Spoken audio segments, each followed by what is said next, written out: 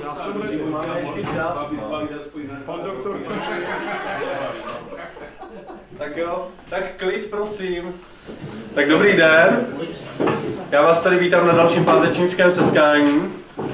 Uh, jako tradičně na úvod poprosím o 20 korun na prodej místnosti, kdo ještě nedal. A dneska jako, jako v poslední době uh, obvykle máme zamluvené k neformální diskuzi krásné ztráty. Přednášející nemusí, jenom když je vypískaný, musí zaplatit pětkrát víc. Jasně. Uh, dnes tady Café Campus, no a já už bych teda rád přivítal dnešního přednášejícího pana doktora Hlaváče, který nám poví něco o e, Češích za vlády Habsburku. Ano, české otázce za Rakouska trošku jsem upřesnil, pozměnil název. Srdečně vás vítám na dnešní přednášce. Se dostávám tedy k, oproti předchozí přednášce tedy podstatě věci eh, k období, kdy česká otázka se stala skutečně tedy aktuální. Ona eh, tady vlastně byla od té doby, kdy existuje, nebo dá se uvažovat o českém národě, ale eh, v jistém období bylo problematizována a tím mám na mysli období osvícenectví, a romantismu. Aby, aby jsme si vymezili, tedy definovali tedy osvícenectví.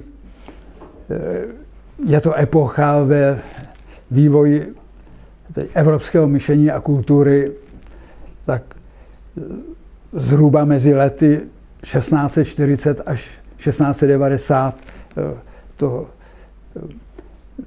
nepanuje jednota v tom, já bych tady vymezil mezi, začát, mezi začátky anglické a francouzské revoluce. To bylo tak 1640.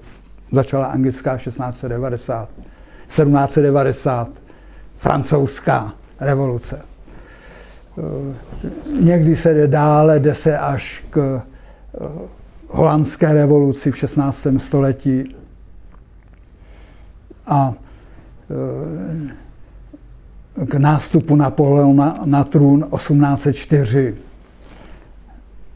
Ale já bych se držel spíš to období mezi počátky anglické revoluce 1640 a francouzské, to bylo 1789, to, to zaokrouhlím 1790 jako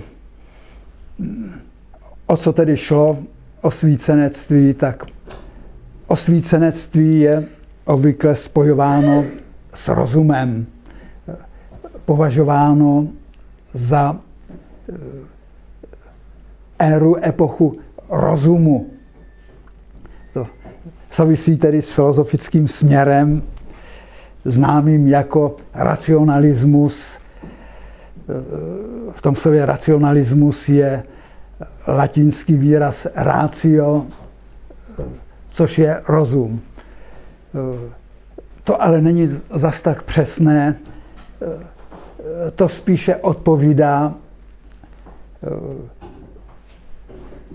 francouzskému pojetí, pojetí rozšířenému ve Francii, které se potom rozšířilo po zbytku kontinentální Evropy. Jak známo, před francouzským osvícenectvím tady bylo už tedy eh, předcházelo osvícenectví anglické, eh, které nekladlo ani tak důraz na rozum, nýbrž na empirii s anglickým osvícenectvím je e, spojen filozofický směr e, známý jako senzualismus. Jeho představitelé oponovali racionalistům, e, který, kteří zdůrazňovali rozum, úlohu rozumu jako to, co ovládá jednání člověka, co je rozhodující v životě člověka. Kladli důraz na zkušenost vycházející ze e, smyslového poznání. To je smysl sensus, tedy anglicky smysly the senses. O tu tedy senzualismus. Jak tvrdí Locke, e, co není, co není nejdřív ve smyslech, nemůže být v rozumu. Kromě rozumu samotného. Kromě rozumu samotného. Ano. Je to, je to průšvih, když veme ty, vememe, vezmeme senzualisty za slovo, eh, tak můžeme poukázat, že jsou živočichové, který mají velmi bystré a dokonalé smysly, dokonce lepší než člověk v mnoha směrech. Třeba šelmy, třeba takový pes, čuch, nebo, nebo dravci, ptáci mají vynikající zrak, a, ale přesto nepodávají takové výkony, tedy výkony srovnatelné s člověkem. Takže asi přeci jenom je tady místo pro rozum. To, rozum není použít derivát, tedy důsledek smyslového vnímání člověka. Tedy je tedy něčím vlastním, zvláštním, tedy toho bytostnou součástí člověka, to, co vlastně činí podstatu člověka. Tady otázka tedy sporu rozumu a zda je důležitější rozum nebo smyslové vnímání je otevřena, teda zůstávala otevřena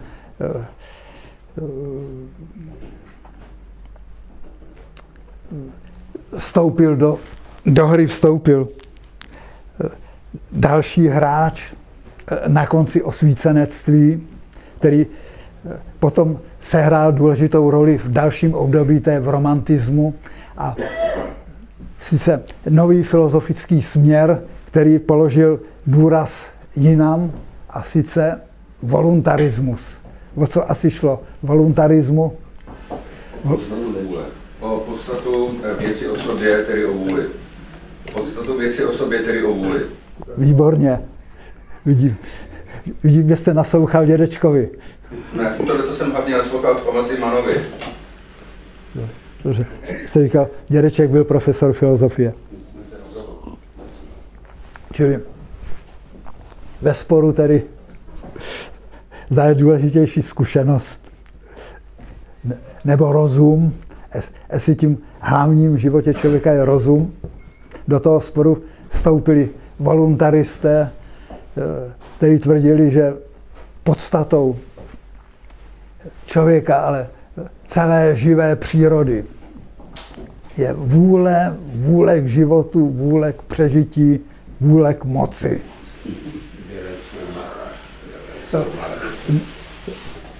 Není to vlastně zas tak nic úplně nového. Ono toto dilema se objevuje vlastně už v antice a takovým rozhodným odpůrcem racionalismu a voluntarismu, voluntaristou byl už eh, svatý Augustín, což byl eh, filozof, který byl zároveň křesťanským teologem, ale velmi zvláštním. On zůstal vždy spíše filozofem. Tento spor se potom objevuje v době, kdy se v Evropě eh, šířil ve středověku, ve vrcholném středověku aristotelismus, kdy eh, část aristoteliků byli racionalisty, jako eh, svatý Tomáš Akvínský, ale naopak jiní kladli důraz na vůli, jako, byl Angli, jako byli angličané Dan Scotus a také William Ockham. Ovšem evropském, novodobém evropském myšlení se tento problém, důraz na rozum, tedy, teda důraz na vůli objevuje až na konci osvícenectví, objevuje se u Kanta a hlavním představitelem toho myšlení byl německý filozof Arthur Schopenhauer, který žil v letech 1792 až 1860, který navázal na Kanta a také na Fichta. Oproti Hegelovi, který byl racionalistou. Hegelovo pojetí ducha je racionalistické.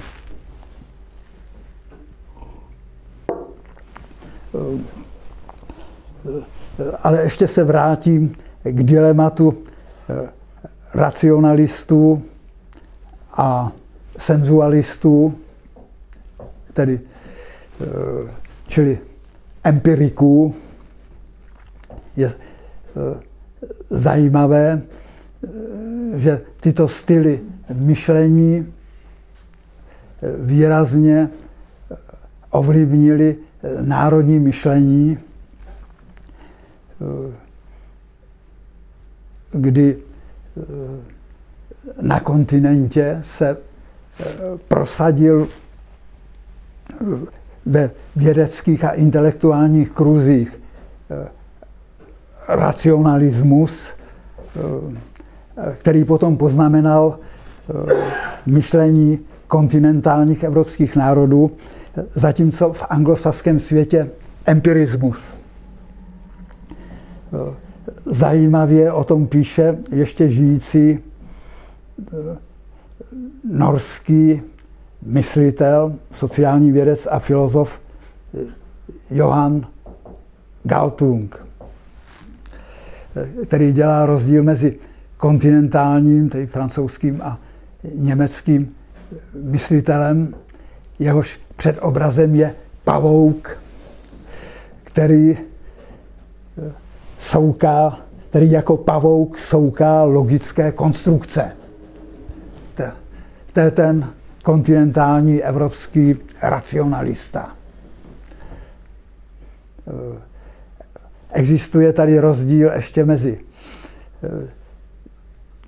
podle Galtunga mezi německým a francouzským pojetím racionalismu. Francouzský racionalista klade důraz na esprit, duch, duchaplnost, případně i humor. Německý racionalista je toho názoru, že věda je příliš vážná věc, aby se o ní mohlo žertovat. Což ovšem zakládá i jistou suchost, suchopárnost německé vědy. To anglický badatel eh, je anglosaský, takový typický badatel podle anglosaském světě podle Galtunga je mravenec. Mravenec, který se celý život pinoží a sbírá fakta, informace, hromadí je, hromadí je.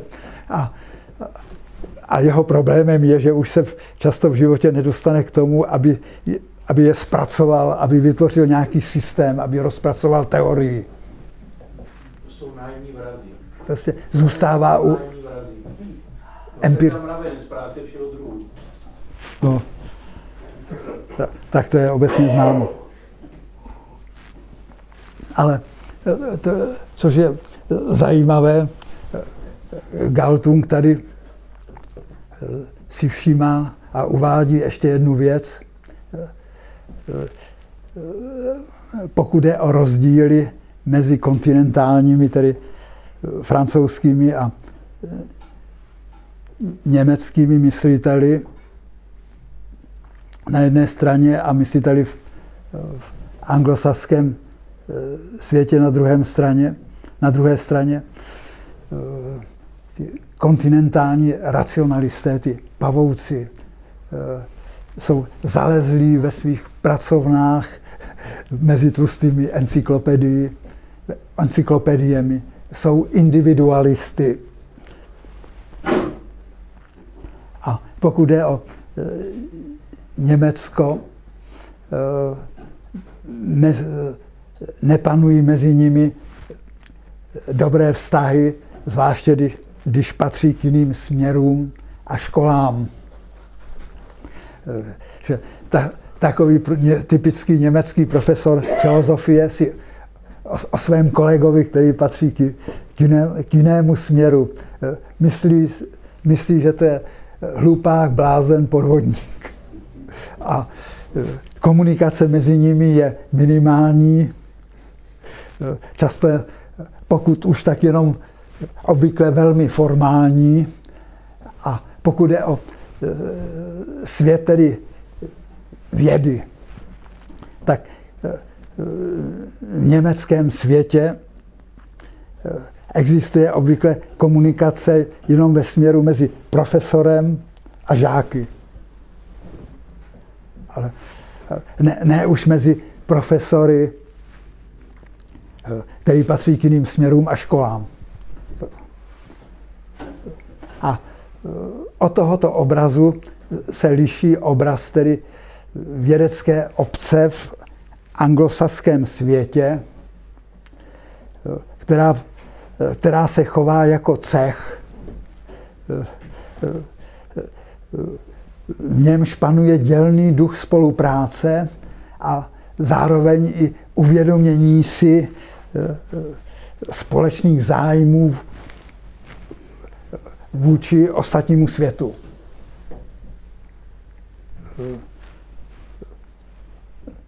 tolik tedy eh, k myšlení, jehož základy tedy byly eh, eh, položeny tedy v průběhu osvícenectví. Tedy v tomto období se rozvinuly i určité pokud jde o téma eh, zdejší přednášky, což je česká otázka i určité tedy společenskovědní názory. Vývoj v osvícenství eh, šel svým způsobem eh, společenský vývoj dvěma směry. Jak si v Holandsku, v Anglii směrem k demokracii a na kontinentě, na zbytku kontinentu, tady Holandsko je kontinent, k upevňování absolutismu, jehož eh, podstatou byla eh, samovláda eh, panovníka. Takovými typickými představiteli této tendence byli v Evropě od 16. století Habsburkové, který v zemích, které ovládli, potlačovali právní stavovský stát, který byl jakýmsi předchůdcem demokracie a všude prosazovali samovládu. Mluví se, což je diskutabilní, sporné slovo o feudálním absolutismu. Buď jak buď tedy Habsburkové vzešli tedy z feudálních kruhů, ale eh, vlastně ten absolutismus byl eh, svým způsobem překonáním eh, feudalismu, který byl jakousi, který představoval na jedné straně jakousi vojenskou demokracii a na druhé straně vojenskou, vojenskou hierarchii. Něco jako v armádě, ale kde byly ty hodnosti šlechtické, že ano, ty různé tituly eh, nadřazované jeden druhému od různých těch rytířů, vykontů, markýzů, hrabat, eh, knížat vévodu, velkovévodu, králu, císařů. Prostě. To byla hierarchie, na jedné straně hierarchický princip a na druhé straně demokratický princip, který byl zakotven v určitých těch eh, stavovských shromážděních a eh, zemských sněmech. Absolutismus tuto, samozprávu potlačoval eh, v duchu tedy ne, neomezené svrchovanosti panovníka. Ovšem v Anglii se absolutismus neprosadil, byl eh, zřejmě hlavní, hlavním důvodem toho eh, vel, velmi špatní vládci Anglie, ať už to byli Plantagenetové nebo eh, Tudorovci nebo Stuartovci, který potom narazili na parlament a došlo k válce mezi, v Anglii mezi eh, panovníkem a parlamentem, zatímco v Evropě se upevňoval absolutismus, v Anglii porazil parlament krále usilujícího o absolutismus. Čili vývoj se tady rozvojoval.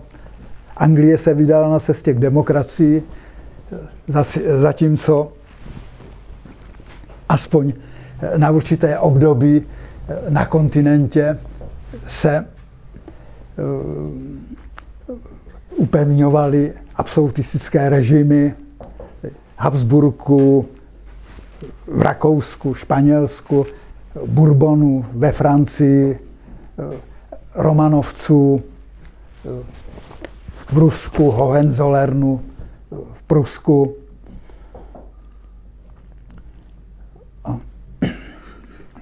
A vlastně obojí se odehrálo v období osvícenství. V souvislosti s vývojem, s nastoupením cestě, cesty k demokracii se v, v té době ovšem rozvinuli i e, teorie reprezentativní vlády. Takovým, e, to, nemusela to být ještě čistá klasy demokracie, taková, jak, jakou známe dnes. Že ano. Třeba eh, představitelem takového to směru byl holandský myslitel Hugo Grotius, tedy holandsky řečeno Heich de Groot. Objevovaly se eh, zajímavé koncepce svrchovanosti lidu a eh, koncepce vzniku státu který měl vzniknout eh, společenskou smlouvou. Prostě stát vznikl podle toho pojetí smlouvou mezi lidmi, který si, eh, kteří se dohodli na pravidlech hry, tedy na, na určitých pravidlech hry, na určitém úzu mezilidských vztahů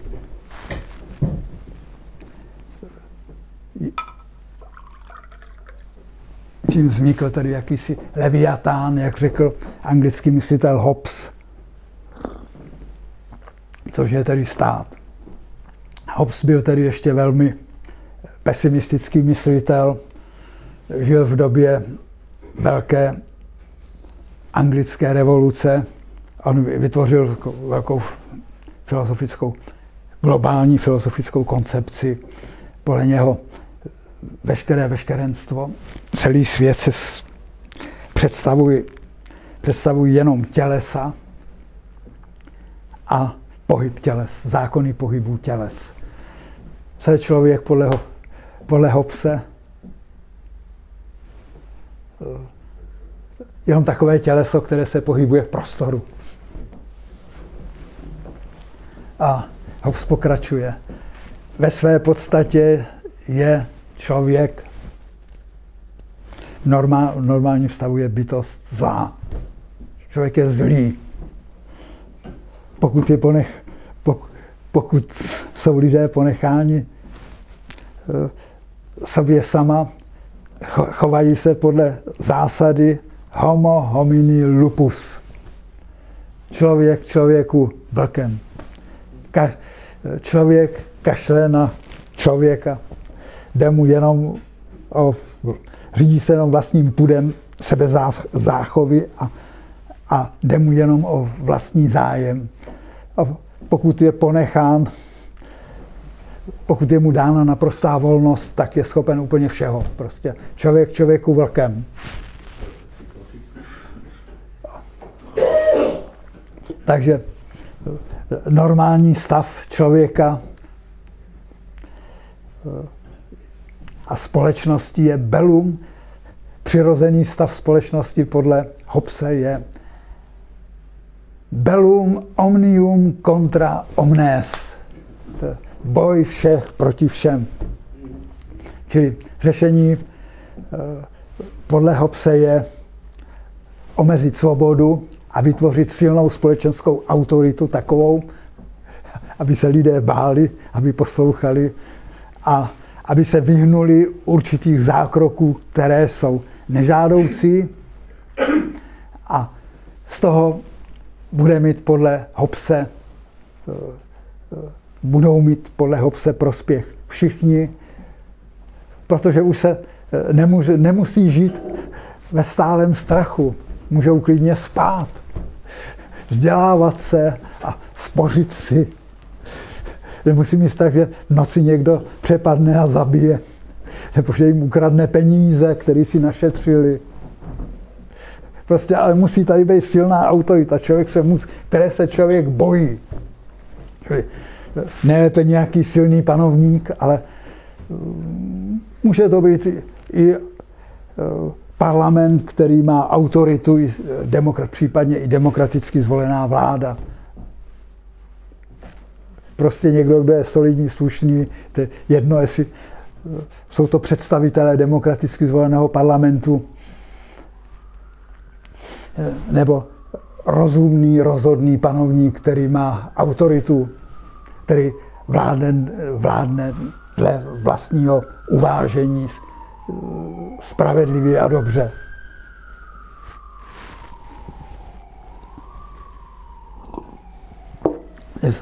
Zajímavé, že eh, toto Hobsovo myšlení který Hobbes ve své době nebyl pochopen. Eh, jak si eh, stoupenci absolutismu se řídili teorii, vycházeli z teorie panovníka z boží, minulo, z boží milosti. Proto ho není v Hobbesově systému, není. Proto z boží milosti už není místo. tak Hobbes ve své době nebyl pochopen. Spíše se prosadili jiní myslitelé, já se k ním dostanu, ale zájem o něm vzrostl v 19. století, kdy, kdy byla v Evropě zaváděna demokracie a najednou se lidem zdálo, že ta demokracie je, je vlastně obrazem toho, co vylíčil Hobbes ve své knize Leviatán, prostě bojem všech proti všem, všem nepořádkem, chaosem.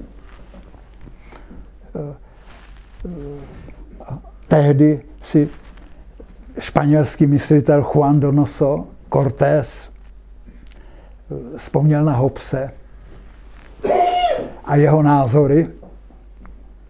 A je zajímavé, že eh, Hobbes dnes patří jaksi eh, jeho učení eh, patří do, výbav, do ideového vybavení krajní pravice na západě. Jsem se setkal na na německé univerzitě s jedním profesorem, který se považoval za největšího znalce Hobse. A on inklinoval ke krajní pravici. Ale tolik Hobbes. Hobbes určitě eh, eh, nebyl tím hlavním sociálně politický, sociálním a politickým myslitelem eh, ve své době. Úplně jiný přístup k politickému životu zaujal jiný anglický myslitel, právě to byl ten teoretik toho senzualismu, který kladl důraz na zkušenost a hlásal myšlenku, co, co není ve, ve smyslech, nemůže být v rozumu.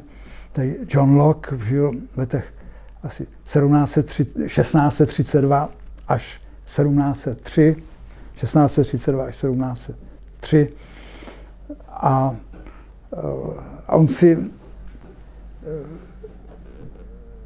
kladl otázku, eh, kterou jistě vyvolávali anglické eh, politické poměry.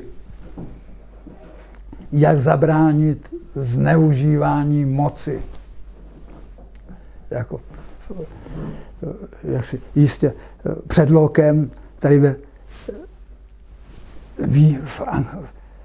ve vývoji, do vývoje Anglie zasáhlo mnoho eh, pozoruhodných vládců, který zrovna tady nebyly vejlubky všech cností, jako třeba takový Richard III., že ano, ale který byl nyní očištěn. Eh, nicméně nedlouho po něm eh, vládl Jindřich VIII., který, když se mu znelíbila manželka, jemu neporodila mu syna, tak co, jí, co s ní udělal? Dali popravit a oženil se znova. Ta, ta nebožačka se jmenovala Anna Bolínová. Je to tak, Indro? jenom, že tam to bylo trošku složitější. No, no, První manželku nemohl popravit, protože byl z rodu královského, že pochopitelně, ale na Bolejnovou si mohl dovolit, ale též našel, nešlo to tak jedno, nebylo to tak jednoduché, protože v těch zákonech našel a pomohli mu na, najít nějakou klíčku prostě, že má tu moc rozhodnout sám jako král, že ji může nechat popravit. Ono to nebylo ani za to absolutismu, za Tudorovců tak jednoduché teda. Ale je to tak, v podstatě on rozhodl. To je pravda. Ano. Ale musel, měl ospravedlnění, našel tam, stejně se tam něco našlo, že to právo popravit jí má. Ano, tak jen nechal popravit i svého kancléře, který nechtěl přistoupit na, protože nechtěl přistoupit na jeho reformu církve, můra,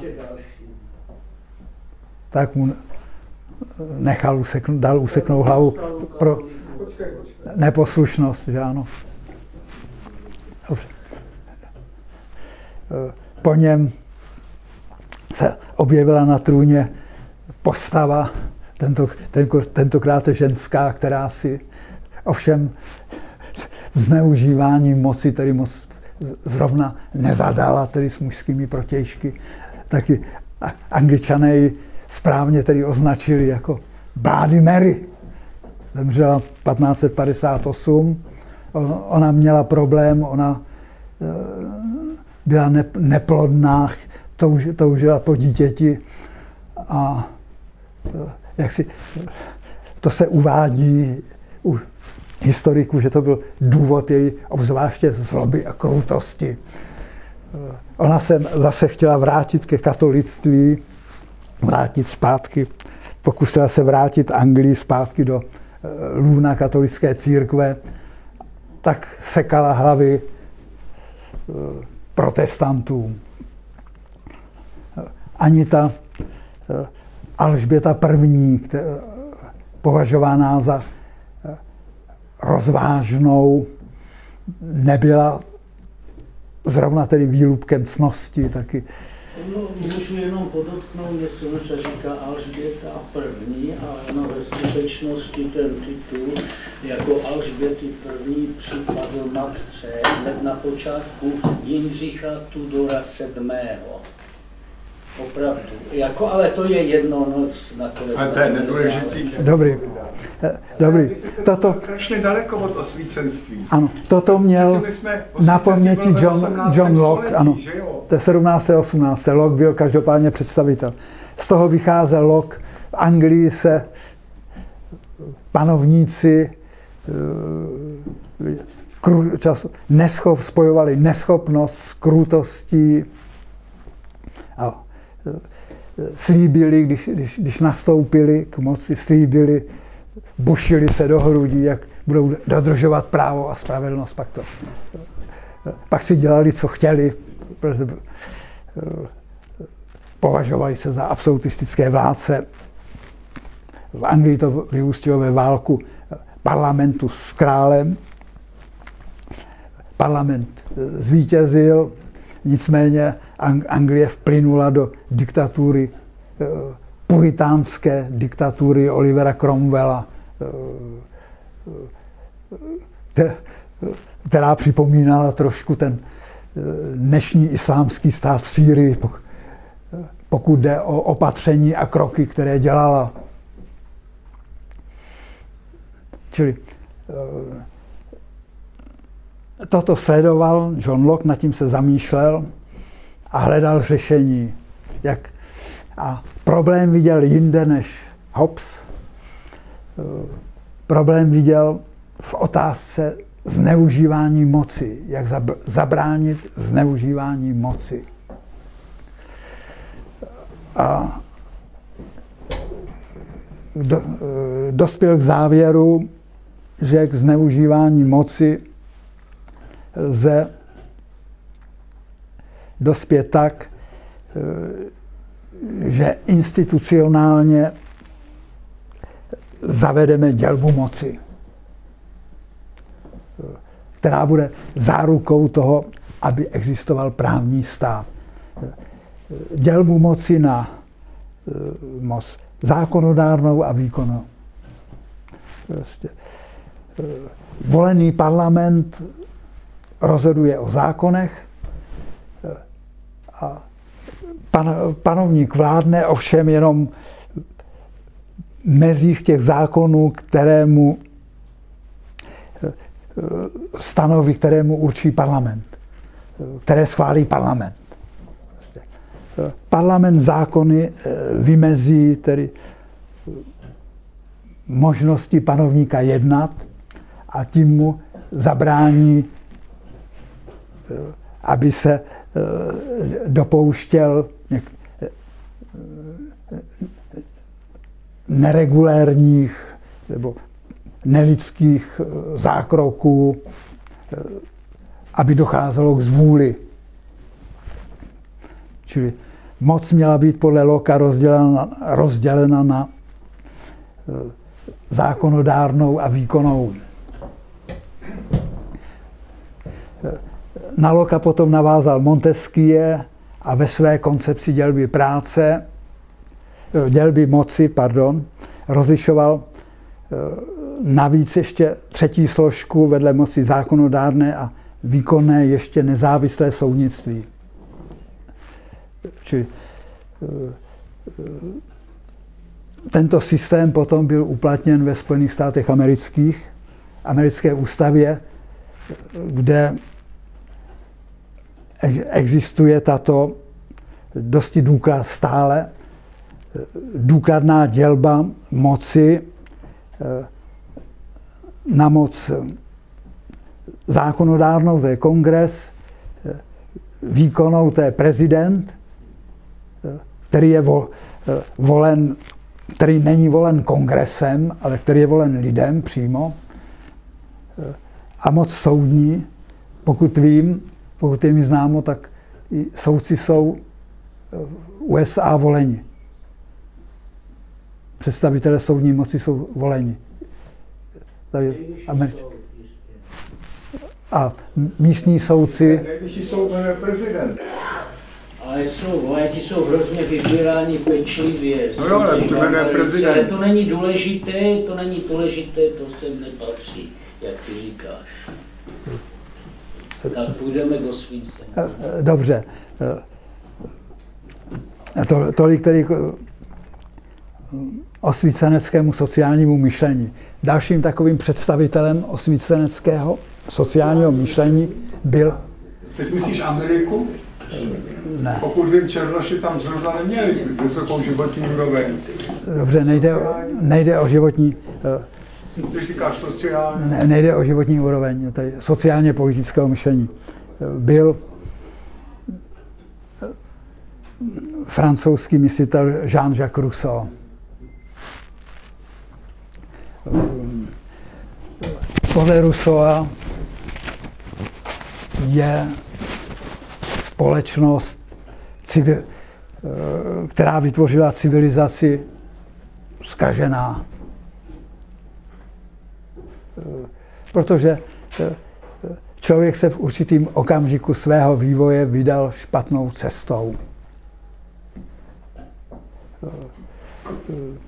Čili eh,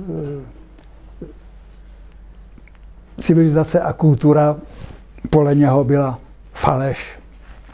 A to od okamžiku, od osudného okamžiku, kdy bylo zavedeno soukromé vlastnictví půdy, eh, které bylo podle Rusova eh, jaksi něčím ne- nepřirozeným v rozporu se zákony přírody.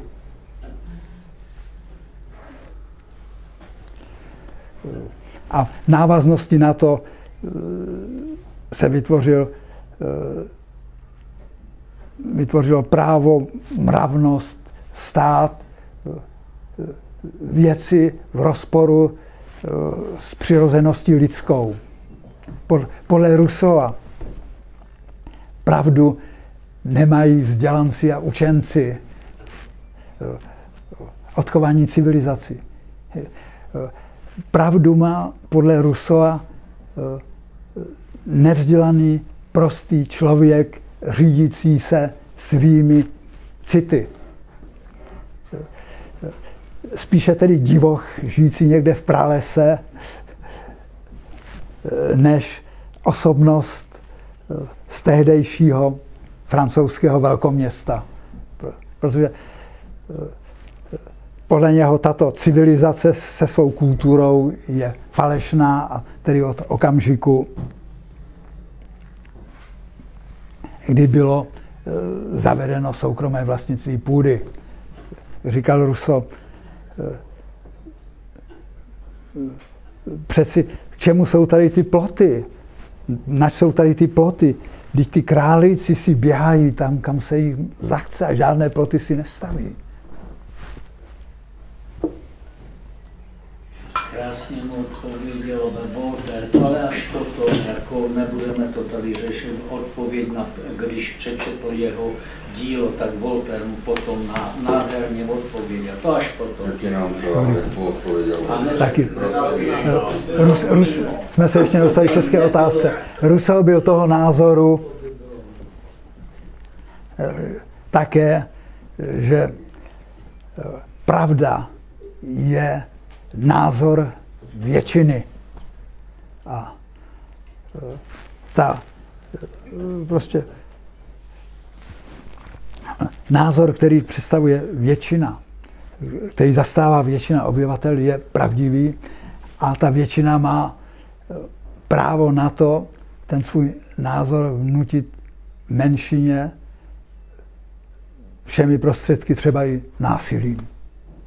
A eh, z tohoto duchovního základu potom vyšla velká francouzská revoluce 1789, respektive její eh, krajní směry, které se tam dostaly k moci v roce 1793, 1794, že ano, to byly eh, pověstné směry Jakobínů a Ebertistů,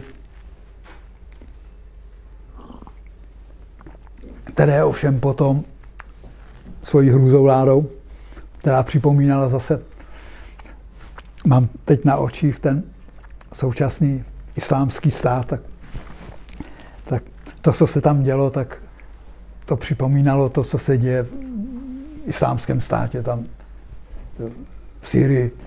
Ovšem znamenalo to diskreditaci myšlenky revoluce. Dobře. V té době, kdy vývoj směřoval i tedy na, na kontinentě k demokracii, byla položena otázka, v jakých celcích má být, na jakých územích má být eh, prováděna demokracie. Eh, hledali se tedy jednotky, které by měly být územní, tedy, tedy s určitým obyvatelstvem, které by měly být základem té demokracie. Jak si podle pojetí, které se objevilo u francouzských revolucionářů,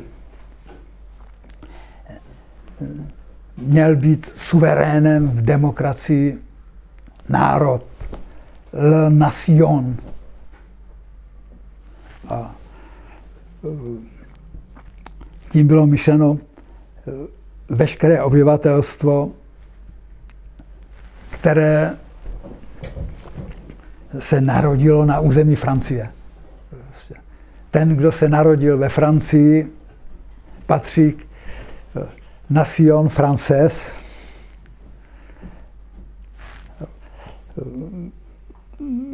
Má tedy nárok na francouzské občanství a stává se tedy politickým subjektem v demokracii.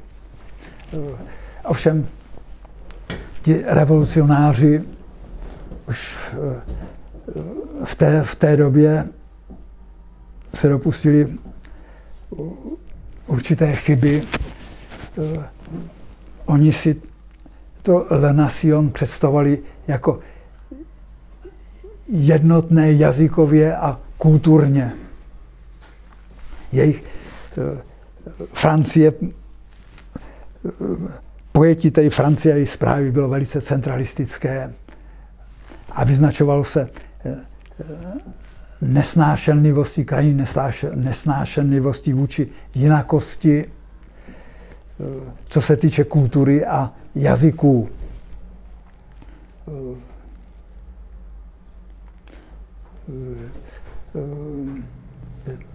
Francouzští revolucionáři řešili otázku, co s těmi jazyky, těmi hatmatílkami, který, kterými se mluvilo v těch okrajových oblastech, v některých okrajových oblastech Francie, Bretani, Alsasku, tam eh, na severu kolem Denkerku, kde se mluvilo vlámsky, Baskicku nebo v Provánci, kde se mluvilo velmi odlišnými francouzskými dialekty.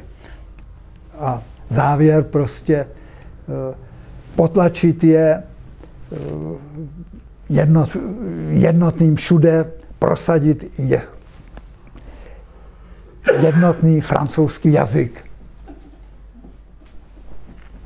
A ta opatření byla dost tvrdá.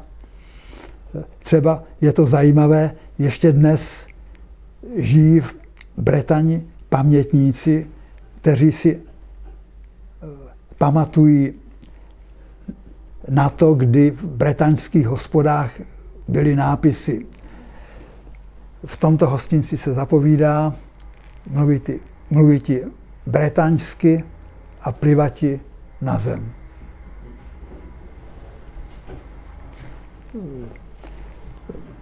Ostatně něco podobného panovalo i v Alsasku, kde ještě po druhé světové válce eh, i v obcích, kde se mluvilo německy, veškeré obchody musely být popsány jenom francouzsky. Veškeré nápisy v obchodech musely být francouzské. Nesmějí tam být žádné nápisy německé, Něm, Němčina se tam trpěla pouze v domácnostech.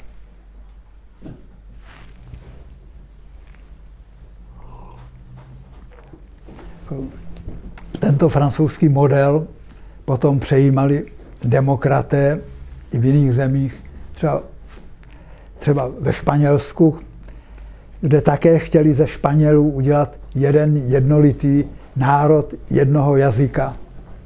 Takže v baskických školách eh, byly děti byty ve školách v Baskicku, když promluvili baskicky a byli případně přesvědčováni o tom, přesvědčováni o tom, že baskický jazyk je zastaralý.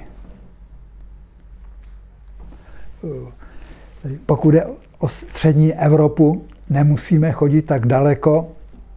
Toto pojetí národa přejala jedna část rakouského, tedy habsburského soustátí, a sice asi která, tušíte?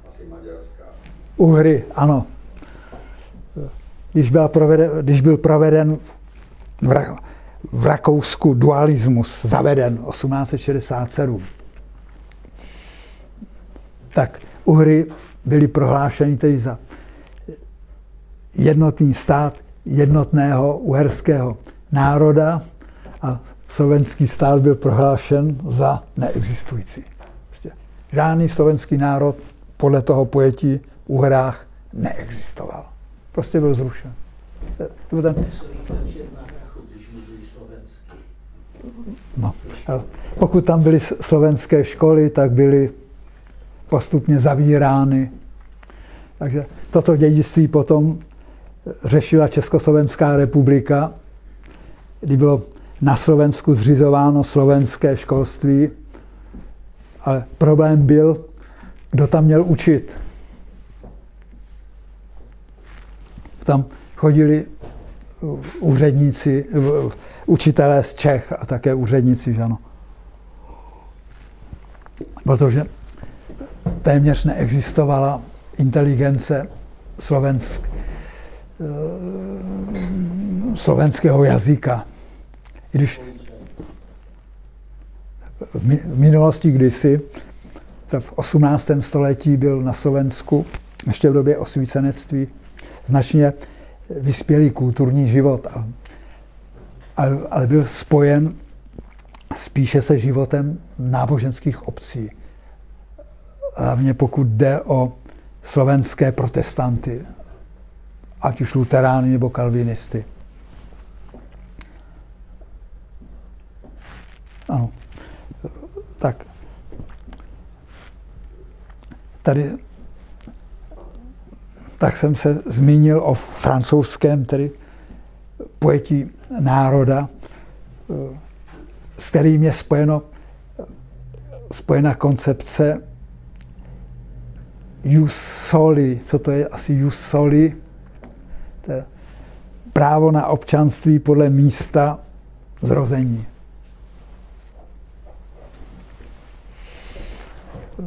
Ovšem, tato francouzská koncepce národa, co by subjektu vlády v demokracii nebyla přijímána všude ve světě. Ta všude v Evropě nebyla přijata třeba v Německu. Totiž tady jde o to, že ve Francii ten absolutistický Francie představoval velký jednotný absolutistický stát, původně, která byla, který byl po revoluci předěláván na demokracii. V Německu tento postup nebyl dost dobře možný, protože Německo bylo roztříštěné eh, na spoustu drobných států, eh, knížectví, církevních států i svobodných měst. A navíc ta území často eh, nepředstavovala, jednotný celek. Byla, byla často roztrhaná na několik kusů, které byly od, od sebe odděleny. Bylo, bylo dosti těžko představitelné z, ta, z takovýchto takto roztrhaných států vytvořit nějaký, vytvořit demokratický stát. Jak si, v Německu si položili otázku, co s tím, když teda budeme v Německu zavádět demokracii, tak na jaké bázi? Jak si, bylo dost těžko nepředstavitelné a myslitelné ty, tyto, předělat tyto drobné absolutistické státy. Případně tedy svobodná města na moderní demokratické státy. Tehdy vystoupil Německu myslitel Johann Gottfried von Herder s názorem, že budoucí tedy německý demokratický stát by se měl rozkládat na územích, kde německý jazyk převažuje. Die deutsche Sprache vorherrscht. A nikde jinde. Ovšem i toto řešení bylo dost sporné, protože ty etnické, když vyjdeme z etnických hranic, byly často velmi, velmi komplikované. Existovalo mnoho národnostních ostrovů. Svým způsobem, když vezmeme Čechy, český národ, oni, eh, on představoval takový klín vražený do němectví, do území osídleného Němci. Ano.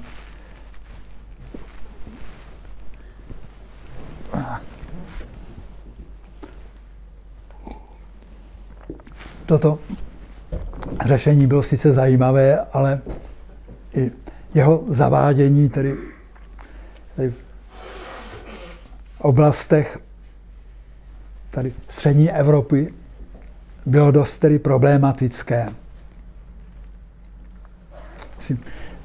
Jak si, takové, taková řešení by připadala v úvahu i v Africe, myslím, že jo. Ovšem, místo těchto států v Africe teď nevěnuje pozornost. Jako v Africe místo dosavadního státního uspořádání zavést uspořádání na základě kmenů. Kde žijí Wolofové, stát Wolofů, kde žijí Sererové, stát Sererů, kde žijí Bambarové, bambarský stát s úředním jazykem bambarským, Nemůžeš eh, stvořit státy podle každé národnosti, kterou v tom svým soustátí máš, že to by i v Rakouskou Hersku by se zbláznili, kdyby měli podle her, Herulů a já nevím, Rumunů tvořit najednou státy. A nás Valachů. A nás, jo, téměř Valachů. Ale my jsme měli ano. stát.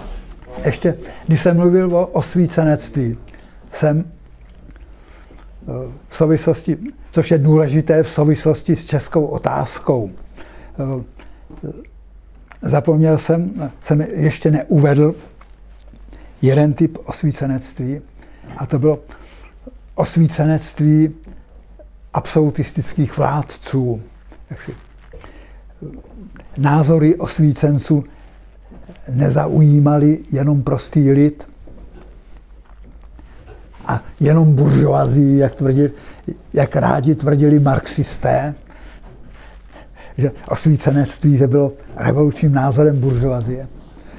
Ono to zaujalo i myslící monarchy, které eh, eh, zaujala myšlenka racionalizace a oni se ji snažili uplatnit ve svém životě a ve svém praxi eh, k racionalizaci státní zprávy, k racionalizaci soudnictví, k racionalizaci vojenství. I si osvícení vládcové si uvědomili, že eh, eh, jejich bohatství spočívá eh, bohatství národa. Že oni budou mocní a bohatí, když jejich podaní budou vzdělaní, zdraví, zdraví, vzdělaní, kulturní, bohatí. Že jejich moc spočívá právě v tom, v tom národě, v jeho kvalitě. Čem, čemu jsou mi jim negramotní, vyhladovělí podaní.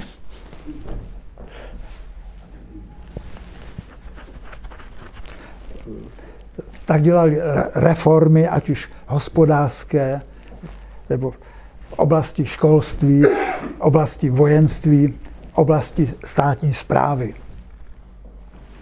Ty mluvíš v plurálu. V 18. století kdo byl kromě Friedricha Velikého osvícený panu? Josef II. No, Mirku, bylo jich, bylo jich dost, ano. Tak by se mohli začít třeba Petrem Velikým, ale ten měl eh, zvláštní tam úkol v Rusku v podstatě. Rus, Rusko se do té doby ohraničovalo od Evropy. Eh, ta, ta oddělenost, výdělenost byla náboženská. Oni byli ortodoxie církevní a oni odmítali tady ty západní katolictví a protestantismus. Oni byli třetím Římem a s Evropou nechtěli mít nic společného. Petra Velikého, který se v mládí setkával s obchodníky a podnikateli, kteří přicházeli z Evropy, zaujala úroveň evropských zemí, zajímavý technická úroveň. Car, který měl technické nadání a nechal se vyučit stavitelem lodí. V Holandsku, ano. A pak to Rusko zreformoval a přiblížil tady západu a zbořil tu zeď, kterou postavila mezi Ruskem a Evropou pravoslavná církev. Ovšem tu zeď potom objevil něk, obnovil někdo jiný, zase se dostal k moci. Zatím spíše okno do Evropy, jak se říká. Bolševici, no. A ten měl potom v Rusku eh, následovkyni, to Kateřina II. Veliká. Ovšem eh, o jejich reformách se dost pochybuje, eh, že ona to, ne, ona to asi nebrala tak moc vážně, jak si v souvislosti s jejím osvícením se pojí, ta, se pojí historka o Paťomkinových, Potěmkinových vesnicích. Jo. Je to ruské osvícenectví za Kateřiny Veliké bylo, za, jak si bylo do značné míry spočívalo ve stavbě Potěmkinových vesnic. Slyšeli jste tu historku o Potěmkinových vesnicích? Ano, ale těch osvícených vlásů bylo víc tedy. Portugalsku, byli v Portugalsku, kde tam prováděl reformy, tedy ve jménu panovníka jistý muž Marquis Pombal ve Španělsku? Karel, král Karel III. Bourbonský ve druhé polovině 18. století. Byli ve Skandinávii, v Dánsku to začalo ve všech vrstvách v 18. století prakticky, že nejenom u měšťanstva, jak říkáš, i u těch panovníků, to je... Ano. Ne, ne, měli teď ty osvícence. Jak to říká, že jo. Tak co udělali tyhle ty panovníci? Odstranili třeba právo utrpný při vyslýchání obviněného? Samozřejmě. Jako Friedrich Veliký, kdo samozřejmě? Josef Veliký. II. Marie bylo Terezie, později. ale To byl kdy to bylo Friedrich později? Wilhelm. Kdy to bylo později? Ano, do- dočasně byl odstraněn i trest smrti v Rakousku. Tak a Je tady muzeum, přece muzeum tortury, tak tam můžeme jít kdykoliv podívat. os, osvícenců španělský boty, tak to jinak. bylo víc, tedy na trůně tedy bylo víc, ale nebyli to zase všichni. A, e, pro nás tedy nejzajímavější byli rakouští osvícenečtí vládci, což byla Marie Terezie a zvláště tedy Josef II. On už začínal i Josef I, ale pak toho nechal, on totiž zemřel dosti brzy. Josef I už začal trošku. No, Možná už i Ferdinand III. no Ferdinand III. To byl celkem umírněný a rozumný. Ano. Tak Marie Terezie měla k tomu eh, jaksi zvláštní důvody, protože hned na začátku její vlády bylo její nastoupení na trůn spochybněno. A eh, jaksi otázky legitimity využil, zvláště tedy představitel jednoho německého státu,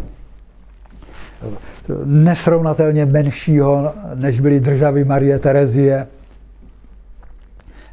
a poměrně i chudého a zaostalého.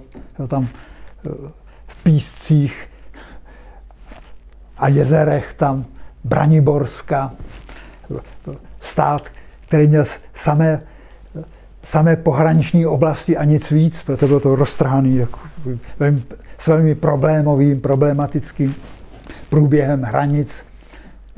Část, to bylo Braniborsko, od, toho, od Braniborska oddělené bylo východní Prusko,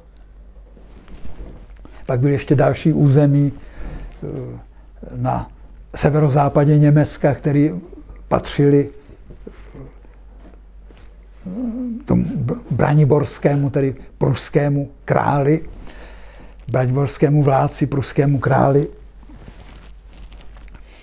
Ovšem, eh, tento Friedrich II., tedy označovaný veliký, ovšem to označení veliký je spochybňováno.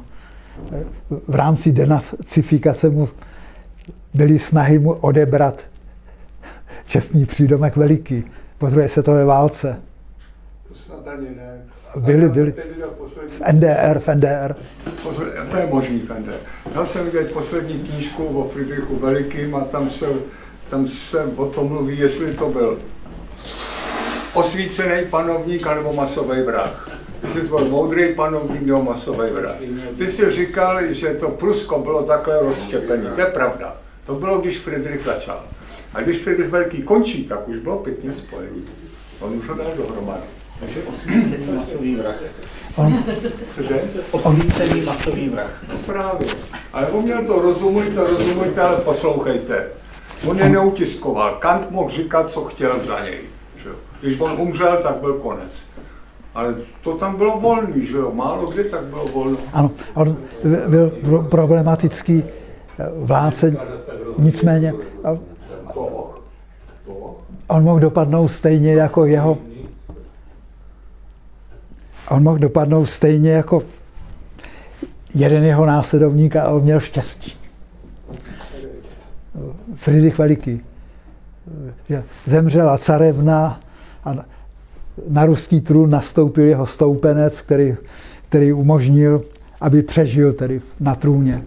Už v Ruskem bylo konec za Alžběty, než zemřela. To bylo finito. Kdyby nezemřela Alžběta, tak Prusko zaniklo. To už bylo totálně poražené. Kdy? Ovšem nastoupil Petr III., který se mu obdivoval. A, Ten měl rád Friedricha Velikého, ten ho zachránil, ne?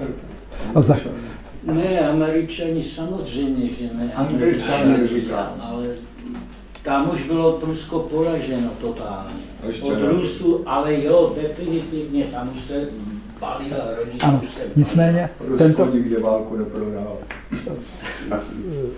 Fri- Friedrich II. Hlavně se Rusko Rusku, Rusko. Rusko. Ne, Rusko, Tam normálně k High Hero, jak se jmenoval High Hero? No ten japonský generál, že jo, jak admirál, no. Tak přece víte, že no, no, absolutně objeli Afriku a měli absolutně tohle to nesourodé. Tak Friedrich, jedeme dále, ano. Friedrich II. si dovolil napadnout stát, který měl desetkrát tolik obyvatel. To, to byly ty říše Marie, ta říše Marie Terezie a, a zasazovat mu těžké porážky a sebrat mu rozsáhlá území, jako větší část Slezska, ano. Šlězien, A to šlo furt.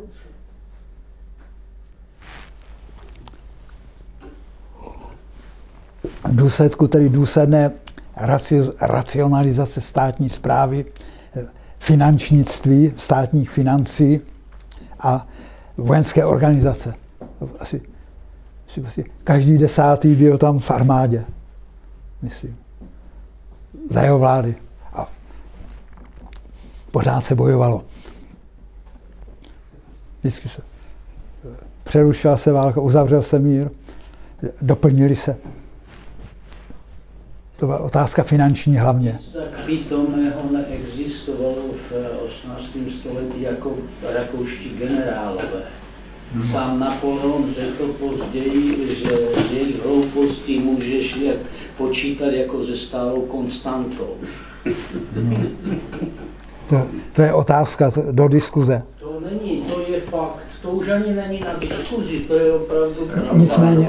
Tam, tam se to dokázalo. Ona tam dosazovala svoje, ne mílce, jak bych to říkal, i Kate, teda Marie Terezie, hlavně z Lotrínska, Lotrinčany měli, měla, měla jako ve velké oblibě, protože její manžel byl pochopitelně z Lotrínska.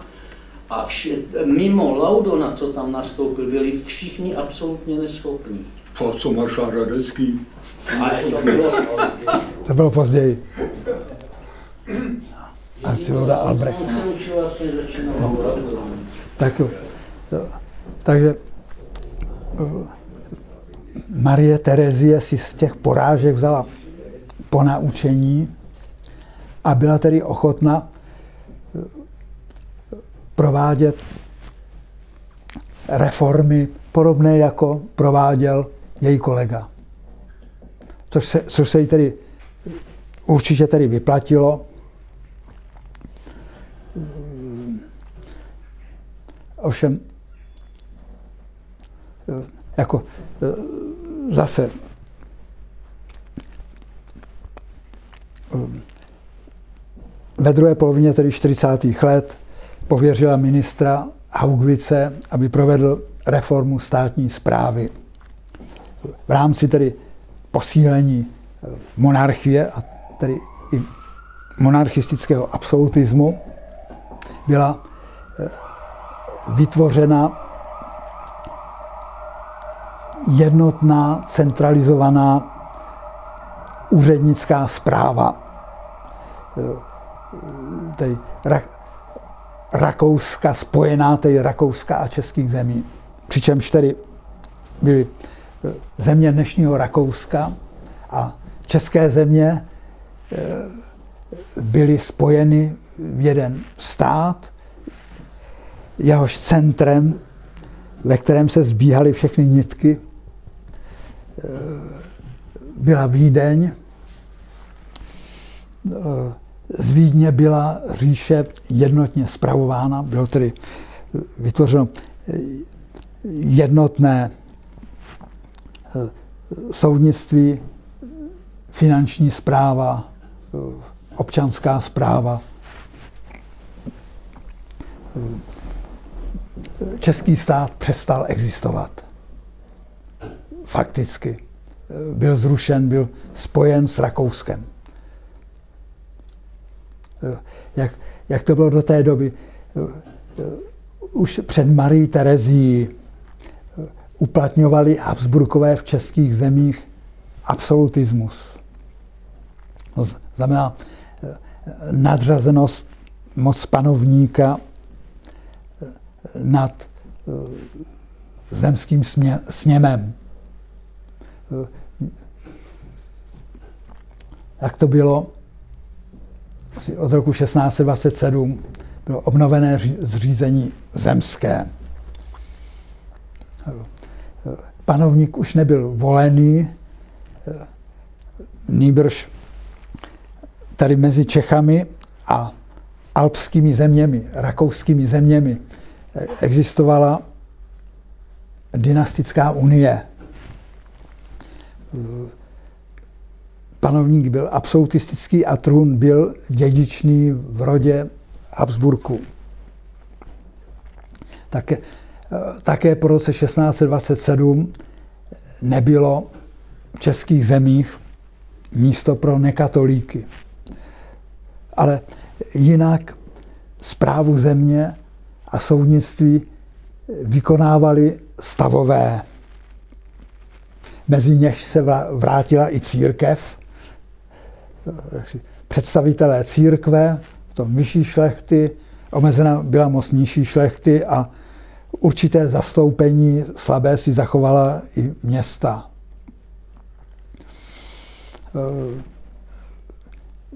Z těchto složek se potom skládal, zástupci těchto složek se potom scházeli na zemském sněmu, pojednávali o zákonech, řešili otázky státní zprávy a otázky financí, daňovou otázku. A pan, panovníka vlastně nebylo potřeba. Tady ten sídl ve Vídni a občas se tedy obracel na stavovský sněm a chtěl po něm jednu věc, hlavně tedy to byly peníze na vedení válek. Takže na základě toho potom stavy vypisovali eh, daně a vybírali je eh, a předávali panovníkovi, ano, který pak hlavně z toho budoval armádu.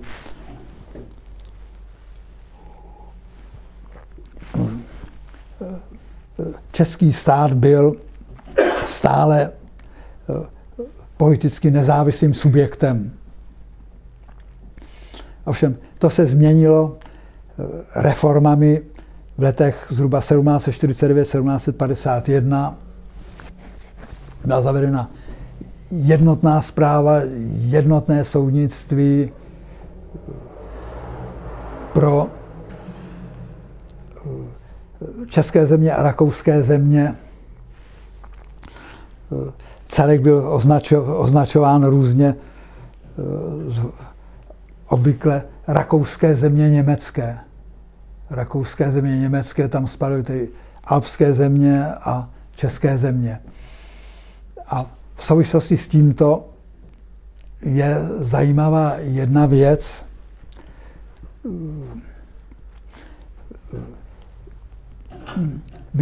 Bylo by příliš složité, aby se úřadovalo ve více jazycích. Byl tedy zaveden jeden jediný společný úřední jazyk, který jazykem stá, jazyk státní zprávy a to byla tím, tím jediným a jednotným jazykem Němčina. Němčina. Němčina. U hrách. U, u hry byly zvlášť. U, u hrách se tyto reformy nepodařilo prosadit. Oni se víc bouřili. Proto dostali tu samostatnost. Asi tak. No. ale ten úřední jazyk byl i v Maďarsku, že jo? Němčina. Je, jeden čas se tam taky objevila. První polovině 19. století za Metternicha byla taky snaha tam zavést Němčinu. Přece oni, když měli armádu, když měli armádu, tak se tam museli domluvit jedním jazykem. Takže museli umět všichni společnou řeč, aby ten voják rozuměl, co mu ten důstojník říká. Ne? Takže museli mít. Já nevím přesně, jak to bylo v úhrách, ale vím, že v dobách dualismu tam byly zvláštní jednotky maďarské, kde se eh, mluvilo maďarsky, byli to takzvaní honvédi. Při, jako složkám ty armády, zvláštní armády se říkalo honvédi. Jak to bylo z honvédy, Jindro? Přesně. Jak to bylo z honvédy v Maďarsku? No, teď si neposlouchal. Dobře. Ovšem, eh, jak si eh, Marie Terezie eh, při svých reformách nebyla vedena nějakou zvláštní záští proti českému národu a českému jazyku. Prostě vycházelo se spíš z toho, že uřadovat ve více jazycích, že by bylo příliš těžkopádné a iracionální, nerozumné tedy, tak bylo rozumné zavíst jednotný jazyk a centralizovat to i po této stránce. Hlavně teda Josef. Hlavně Josef. Ano, jak si to je jedna věc. Brát český národ nebo neměli, ale z pragmatických, čistě z pragmatických důvodů, jak to říkáš, že ano, že by to bylo jednodušší. Ale eh, přitom eh, ne, nebyla snaha eh, Čechy odnárodit, tedy od, odnárodnit masu českého národa. Marie Terezie také zavedla, zaváděla školství, triviální školy, které měly být v každé obci. A jazyk v těch triviálních školách pro venkovské děti nebyla, nebyla Němčina vnucována. Tam, tam se používala čeština. Ovšem, jinak už to bylo na hlavních školách ve městech a na takzvaných normálních školách v Praze, Brně, kde už tedy se Němčina prosazovala. Ovšem je zajímavé, čeština jako jazyk se na určitých školách určitý, určených po, pro státní zprávu a pro také na důstojnických školách čeština se ta ne česky, ale čeština se učila. Neučil se tam česky, ale učila si tam čeština zase z pragmatického důvodu, aby se úředníci a vojáci domluvili s lidem. Mohli domluvit s lidem. Myslím, že za Josefa II. i na vojenské akademii byla zřízena katedra češtiny ano, ano, ano. Dokonce i na univerzitě Vídeňské byla katedra, ještě dřív než v Praze češtiny. Tam byl ovšem eh, profesorem, profesorem tam byla taková eh, problematická postava, byl to Paul, Paul se jmenoval, ten, který tam učil češtinu, on byl purista a on, on si tu češtinu předělával a vnášel do ní novotvary, které se nepoužívaly. Mluví se o něm jako o puristovi. No. Dobře, to je jenom tak na okraj. Tolik těm reformám, tedy Marie Terezie. Oni na jedné straně byli rozumné, přispívalo to k zvýšení úrovně obyvatelstva. Eh, eh, ta nová zpráva byla výkonnější eh, než ta předchozí, kterou, která byla v rukou stavů. Ovšem, jak jsem to začal, na Marii Terezii potom navázal císař Josef rozsáhlou reformou, která spočívala zvláště v postátnění církve. Asi, co tím asi myslím, od dob tedy vrcholného středověku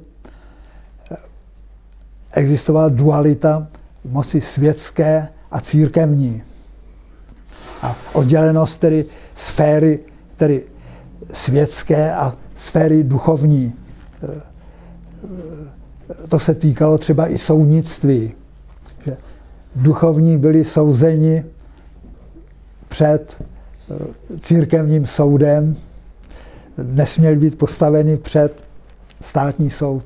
Ale záleží v jaké době, pochopitelně, protože středověk a vláda církve, nebo ten dualismus, to je hrozně dlouhá e, doba, několik ano. staletí. Ano. Někdy rozhodoval opravdu, mnohdy rozhodoval ten císař. Než si to v té 11. století, koncem 11. století a ve 12. ta církev vydobila jako to, že světská moc eh, prakticky nebude zasahovat do té církevní, jednak ano, to... Eh, při volbách, jako to je jedno, jestli papeže nebo biskupu a pochopitelně, ale to je hrozně široká otázka. To bylo od dob... Takže jak kdy císař rozhodoval Konstantinopol? Nejsme ve 12. století, Indro. Jsme no nejsme 18, ani v Americe, nejsme různě, ale, ale my se k tomu vracíme, protože je o tom řeč, proč ten Josef II. nebo proč, se odě, proč byly církevní soudy, že a to se odvíjí od středověku. Habsburkové, zvláště od dob reformace, vládli, vládli v úzkém spojení s katolickou církví. A katolická církev měla u nich tedy velmi dobré postavení a oni, oni na ty jejich, na ty jejich tradiční privilegia dlouho tedy nesahali, sáhnul na ně až tedy císař Josef II. a jeho poradce syn Mikulovského rabína Josef von Sonnenfels. Prosím. Mikulovský rabín byl jeho otec. Ano, z Jižní Moravy pocházel. Církev byla postátněna, eh, eh, církevní semináře byly předány do státních rukou se stali státními školami. Ještě jenom podotknu, ten navrhl tu tor, zrušit torturu. Ten navrhl zrušit tu torturu. To v pořádku, to bylo v pořádku. To byl právo utrpné. Ano. A tak on byl právník vlastně. Čili eh, semináře, církevní semináře byly dány do státních rukou a faráři, z farářů se stali státní zaměstnanci. Tento stav existuje dosud. Převzali ho i komunisté. Je to tak? No. Teď se, teprve nyní se uvažuje o oddělení církve, církví a e, státní zprávy. Že? Cír, cívky se vrací majetek na jedné straně, ale na, na druhé straně už eh, ztrácí výhledově právo být placení ze státní, ze státní pokladny. Musí žít ze svých majetků a zdaru věřících, ano. Žádný po Josefovi druhým žádné restituce nebyly. Jeho nástupce Leopold, jeho brácha, co přišel, bohužel žil jenom dva roky z Toskánska, potom a ujal se vlády, řekl jasně, žádný restituce, protože mnoho jako těch, těch eh, církevních hostnostářů pochopitelně chtělo ty majetky zpátky, ale řekl, že nic, žádný restituce. Dobře, ale jiná věc je... Ale jiná věc je, že církev od té doby těch reform, kdy byla eh, vyvlastněna, eh, získala mezi tím. To jsou čestný, i dluhy jsou čestný v kartách, že to známe. A co prohraješ kartách, to se nevrací. A to si musíš ukradnout zpátky. Jako. Tak to bylo s jezuitským řádem. Ten taky Zrušen. Ano, no, ten 1773 byl zrušen. No. vždycky, se nejvíc polepšil, tak ho zrušili. Když byl nejvíc nízký, tak ho drželi. Ne, on už jim lezl přes to, už to, už to, měl jim moči. Měl po, byl spojován s měšováním se do politiky a s intrikami. A, takže se jezuité stali nepohodlnými. A navíc měli v rámci církve mnoho nepřátel mezi eh, v řadách jiných řádů tedy církevních. Byla tradičně rivalita mezi jezuity a dominikány a františkány, ty se neměli rádi mezi sebou. Tak, eh, dobře, jako církev byla i tedy, jak jsem říkal, vyvlastněna. Ovšem je zajímavé v souvislosti s tím podotknout, že od té doby eh, získala značný majetek a asi jakou cestou. Dědictví, jestli nějaký, ne? Od, za, od, od úmrtí, odkazy. Nějaký boha, bohatý muž. Nemůže, že by to měla odkázat ne sičákům, co jí tady nechávají ležet, ale církvi, co se o to stará. To je ono. A zbytek josefínských reform zrušil nečas veliký se svatým Kalouskem. Tak nějak.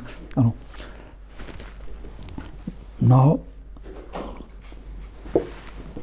někdo měl nehodného syna, kterého vydědil sedlák, tak odkázal majetek, majetek místnímu faráři, místní faře. Tak se to dělalo. Takže od té doby církev, katolická církev speciálně, schromáždila velký majetek, ale celkem regulérní cestou. Ovš- Ovšem pak přišla jistá doba a byli znovu, byli znovu tedy vyvlastněni. A teď jsou zase na programu, tedy restituce, jsou na programu restituce, že ano. Ještě to není dořešeno, není to dokončeno. No, ale o tom jsem nechtěl mluvit. Tak si v uvedené době, kdy do, docházelo ke zmíněným reformám, tedy vznikla česká otázka. To znamená, byl zrušen český stát a e, ne všichni lidé s tím byli spokojeni. E, e, Jak si, nebyla spokojena šlechta, která ztratila své postavení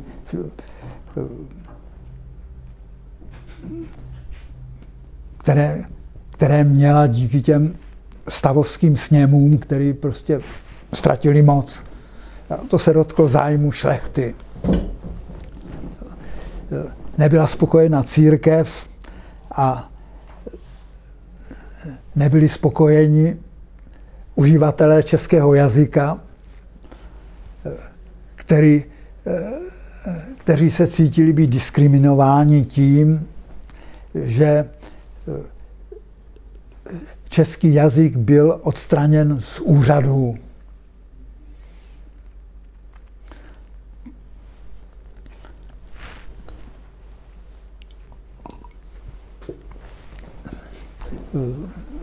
Za, začali různým způsobem protestovat.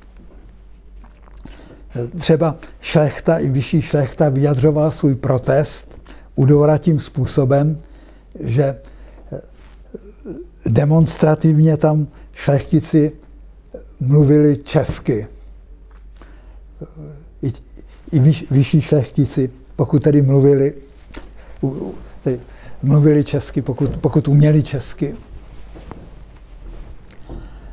A ovšem ve své době zbudili za vlády Leopolda II. tímto spíše veselý. Že to, u dvora z toho měli ti ostatní spíše legraci. Ovšem nespokojenci požadovali obnovení české státnosti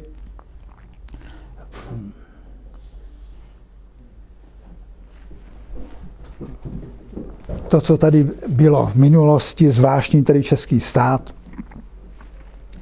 A v této souvislosti mluvíme o šlechtě, české šlechtě státoprávně historické.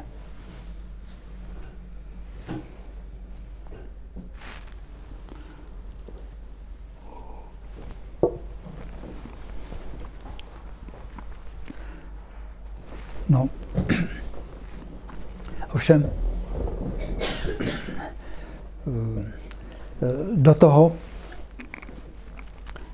ovšem do toho vývoje jsem začali pronikat myšlenky, tedy zavedení demokracie, která svým způsobem představovala něco podobného, co už byl ten dřívější stavovský stát, který byl svým způsobem právní stát, do jisté míry tady i reprezentativní stát, i když jaksi volby se dělaly jiným způsobem než jeden občan, jeden hlas. A jaksi vynořila se i otázka, jak ten stát organizovat, kdo bude tedy subjektem té státní moci. A tedy myšlenka národa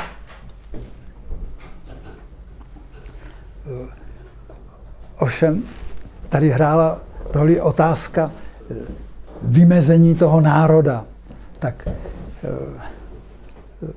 působil tady vliv francouzské revoluce a e, objevilo se tady francouzské pojetí. E, podle něhož tedy e, všichni lidé, co žijí v Čechách, měli být občany a měl být tedy, tedy zřízen, tedy obnoven český stát. A lidé, kteří se zde narodili, měli představovat mít občanskou společnost eh, subjektem moci bez ohledu na to, jakého původu byli, jestli byli Češi, eh, připadali v úvahu tady, buď, eh, tady zde hlavně tady Češi, Němci, případně tady byla, je možno ještě tady uvést Židy, ale v Čechách jich nebylo moc. V Polsku bylo až místy až 10% Židů. V Čechách tak na jeden, asi 90 tisíc židů, že na konci 19. století bylo tady 6,5 milionu obyvatel a z toho asi 90 tisíc židů. Dobře. Ovšem, vedle tohoto občanského pojetí, které vycházelo ze zásady jus soli, se tady objevovalo, prosazovalo i pojetí, s kterým přišel v Německu Johann Gottfried Herder, který uplatňoval zásadu, jak si subjektem má být národ, co by historicky vzniklé jazykové, kulturní společenství. Tedy v případě Německa tam, kde německý jazyk převládá, tam má být zřízen německý stát. Toto pojetí přišlo i do Čech. Ovšem hned o začátku tady, tady byla sporná otázka vymezení národa i v tomto herderovském etnickém pojetí. Zda pojímat za český, za národ v Čechách pouze Čechy, nebo zda v našem případě je pojem národa daleko širší, že Češi jsou pouze součástí širšího, většího národa, kterým jsou slované. Už od toho 18. století se tady objevilo zvláštní pojetí národa, označované jako panslavismus, či idea eh, slovanské vzájemnosti, nebo slovanství, nebo všeslovanství. Je zajímavé, že slovanství se eh, vynořilo už někdy v 16. století. Objevilo se u Chorvatů, i když eh, jak si jeho kořeny můžeme sledovat hlouběji v dějinách, až by se mohli jít až k misi Cyrila a metodě. Ovšem eh, v 16. století balkánské národy, slovanské národy cítili tlak Turků. A proti tomu tlaku Turků se snažili opřít o širší společenství, který mělo být slovanstvo. Slované se měli sjednotit a zahnat Turky. Křesťanství křesťanští slované. Tak. Ano, oni, oni měli pr, ano, pro, lépe organizovanou zprávu, než měli křesťanští, křesťanští vládci ve své době. Ale, ale kulturně moc na úrovni nebyli. Určitě. Jako, hlasatelem, hlasateli této myšlenky byl, byli chorvačtí kněží, jako Vinko Pribojevič na počátku 16. století. Bylo jich, bylo jich více. V 17. století jeden z nich, jezuita, chorvatský jezuita Juraj Kryžanič se dokonce vydal do Ruska k ruskému carovi ve druhé polovině 17. století, kterého chtěl přesvědčit, aby přestoupil ke katolictví a postavil se do čela Slovanů a zahnal Turky.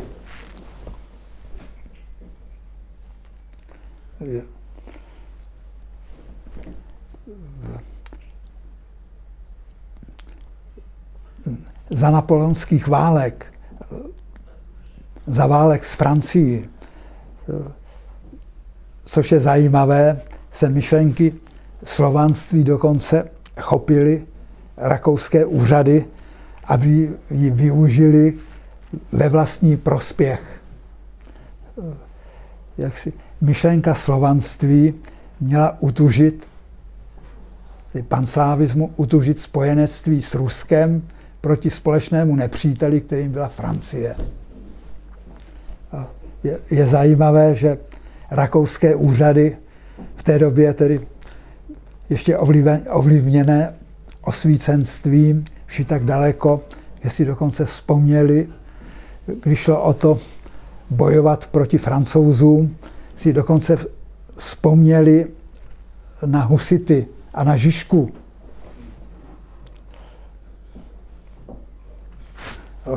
Ovšem jak si myšlenka slovanství měla v českém prostředí zna, dosti značný ohlas. Souviselo to i s rozvojem slávistiky. Zajímavé, odkud jsem přišla slávistika. Asi pochopitelně od Němců. Němci nejdříve jak si, řešili otázku biblické exegeze. A jak si, začali se zabývat o lingvistiku, o jazykovědu, protože nebylo tak jednoduché dešifrovat hebrejské texty. Tak se u nich rozvinula jazyko, lingvistická analýza. Prostě. A tu potom neuplatňovali jenom na hebrejštině, ale i na jiných jazycích, na němčině a taky na slovanských jazycích. A tehdy položil jeden německý historik, slávista, základy tedy moderní slávistiky, August Ludwig Schlözer, působil dlouho v Rusku. Tady ty vztahy mezi Německem a Ruskem, mezi, mezi Němci a Rusy jsou velmi zajímavé. Když... Honzo, už je 7 hodin a ještě jsme si nepoznadávali, takže by měla být diskuze. No, jde konec. Dobrý, tak. Ovšem, ještě k tomu, jak si vrcholem, tady, tady v Čechách a vůbec u Slovanů, zvláště zbudil velký ohlas již zde zmiňovaný německý myslitel Johann Gottfried Herder ve svém jednom spise věnoval asi půlku stránky Slovanům. Ano, jistě. Herde ovlivnil tady mnoha směrech, který české národní hnutí, ale v prvořadě svým chvalospěvem na Slovany. On byl protestantským kazatelem a působil u německé menšiny v Rize. Takže ta byla, ta byla ovšem poddána ruskému carovi. Tak, a měl proto možná i zjištné důvody. Nic, nicméně působil, tedy přicházel do styku ze Slovany a konstatoval, že jsou to fantastiční lidé, dobrosrdeční, laskaví, dají člověku poslední až, až do sebezničení prostě a jsou míru milovní prostě, přímo jak si použil v popisu slovanské povahy Tauben charakter. Jako holubiční povaha. Jako když čtu Čechy, Čechy neznal, Čechy nepřicházel do styku. Neznal ani holuby, ale, ale nedělal, nedělal rozdíly mezi Slovany. Prostě Slované pro ně byli jako pro mnoho Němců. Prostě jsou... Ano. V Německu jsem se na univerzitách stále setkával eh, s tím, že s pojetím slovan, čeština to je jedno, jedno slovanské nářečí. Jo, čeština to je jedno slovanské nářečí. Nebo si mě plety s Jugoslávcem,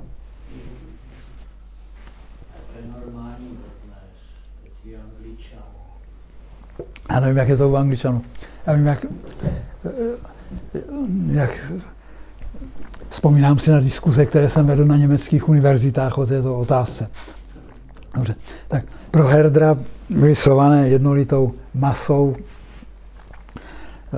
která má určitý charakter a on se sebekriticky obrátil na Němce, Germány, kterým byl vlastní tedy feudální militarismus, to slované podle něj jsou míru milovní a demokratičtí. Bytostně jsou bytostní po, povahou demokratičtí. A proto, vzhledem k tomu, že vývoj směřuje k demokracii, tak budoucnost patří komu asi? Právě těmto demokratickým Slovanům. Ukrajincům, to jsou taky ti jsou. Kolik za to dostal? Od Putina. Kolik zlatých? Asi tak. Tak minimálně mohl v ruské říši s takovými to názory nerušeně působit. Ne, nebyl vykázán. Dobře. Tak nicméně, jak si u Čechů ještě nebyl tak vliv těchto myšlenek tak silný jako u jiných Slovanů. Te Češi byli stále zaměřeni na svoji státnost, do minulosti na český stát, který chtěli obnovit. A toto slovanství je ani tak nezaujalo jako jiný, který slovanský národ, kousek na západ, který se těžko může vykázat ve své minulosti nějakou státností. Nebo jenom minimálně nějakým tím pribinou. Teď si přivlastnili si svatopluka, postavili mu sochu jako svého národního, udělali z, ně, z něho svého národního vládce. Přitom žádní Slováci nebyli, tenkrát žádní Slováci neexistovali, to je první věc. Oni si přivlastnili si Velkomoravskou, přivlastňují si Velkomoravskou říši. Ale tenkrát na Velkomoravské žádní Slováci nebyli ještě. Ano. A oni... To už jim vysvětloval v bratislavské televizi. Oni tenkrát ještě nebyli žádní Slováci totiž. Oni byli... No, to říká. Byli tam... Panony a ty zase si pod. V podstatě problémem je, jako Slováku, oni i geograficky eh, žili v uherské kotlíně, eh, v pohraničí Uher, v těch horském pohraničí, ti bojovní Maďaři na těch koních si zabrali si tu úrodnou uherskou nížinu. Tak oni je vyhnali Pečeněhovi vlastně z východu a pozval je no. Arnov, jako pozvali je němečtí eh, vládci na, Slo, na, na Velkomoravskou říši. Jedna teda, tak není to Jako eh, tomu, tomu, kdo žil t, mezi těmi Slováky a trošku rozuměl ty otázce, bylo jasné, bylo problematické, vytvořit nějaký slovanský národní, slovenský národní stát na tom území toho severního pohraničí UR.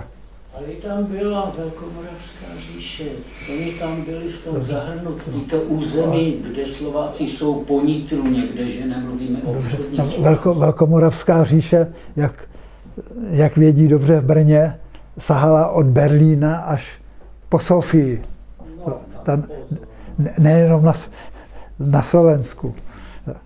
Nejenom na Slovensko.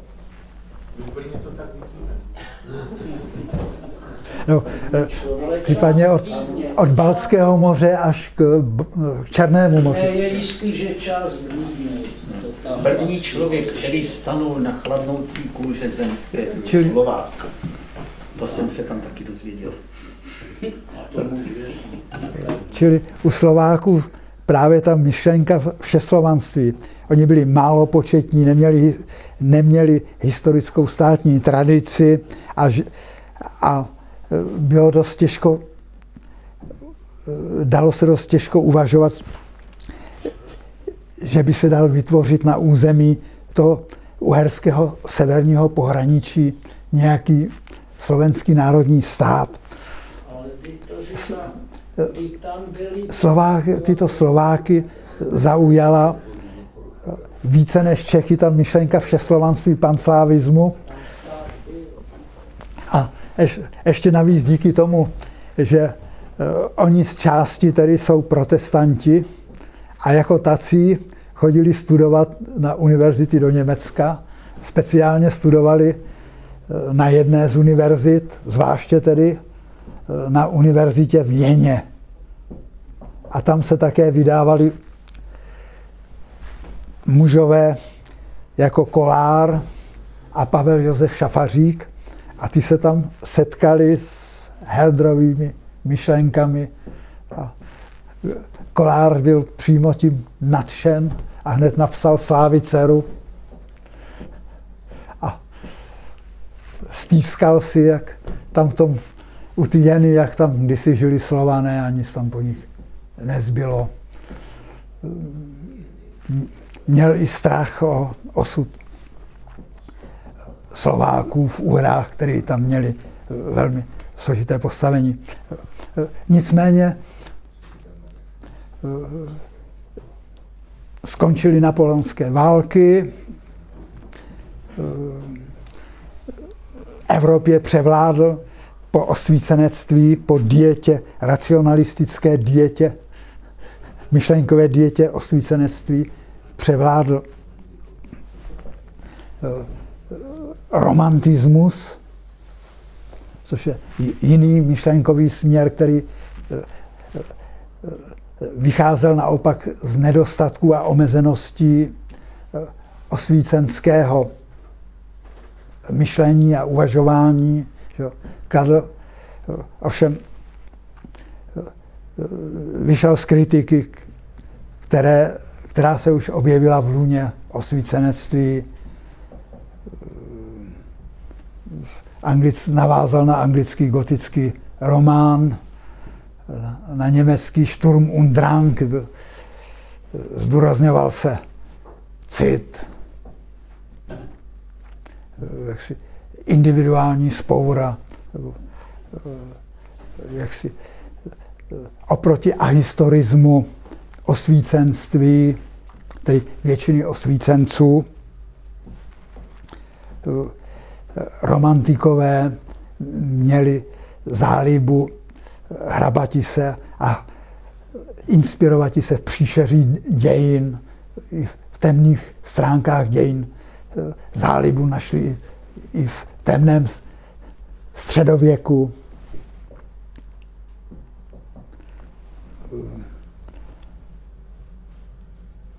A jak si v této souvislosti v historickém kontextu začali pohlížet i na národy jako na historicky vzniklé celky se svojí minulostí a eh, který nemají jenom zvláštní jazyk, ale který mají i nějakou zvláštní tradici a kulturní tradici, eh, které mají i mýty týkající se jejich vzniku. A pokud ty mýty nebyly, tak romantikové si je vymýšleli. Právě hodně k tomu docházelo u Čechů, ale nejenom u Čechů, těch padělků, které jsou datovány do minulosti, kam nepatří. Známe hodně i z jiných zemí. Výborně slovo o Igore, Igorově a teď do, dokonce eh, eh, se vynořila zase eh, v ruském prostředí kniha týkající se hm, praslovanského náboženství, Velesova kniha. Asi jste, slyšeli jste. Ale, ale k padělkům docházelo i jinde, i ve Velké Británii, Macpherson, ano, ve Skotsku Macpherson, Osiánovi. A u Čechů to byli Václav Hanka, Josef Linda, kterým se přisuzuje, přisuzují padělky popisující slavnou minulost českého národa, který vycházejí z demokratičnosti, prvotní demokratičnosti Čechů. A, a Nibelungy nejsou padělky. Ne padělky, ale blbosti. No, prostě to je historická, to je hrdinská literatura. To napsali v roce 12 asi, jo, a je to někdy z období Atily. A to máme u Římanů. Burgundy. Ano, to... Attila pomohl Etiovi, je tam, to tam vyčistit ty Burgundy, tak Hunové je tam vyvraždili. A to je celé. To je opravdu jako taky. Není Dobře. Jak si období od napoleonských válek, můžu ještě pokračovat, nebo? Ještě. Máš konec. Dobrý. Tak nějaké otázky? tomu?